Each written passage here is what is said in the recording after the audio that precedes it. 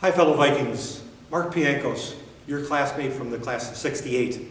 I'm here today to ask for your generous contribution to a scholarship that has been established by the class of 1968 to help our present and future Vikings here at St. Laurence. Your generosity is going to be crucial.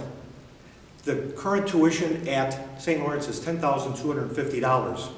80% of the students attending our school receive financial assistance. Your generosity today is crucial to their success.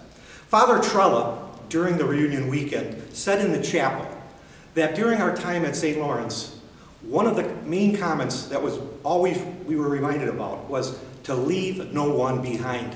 Your contribution, my contribution, our contribution can help in ensuring that no student is left behind. Give generously to this effort.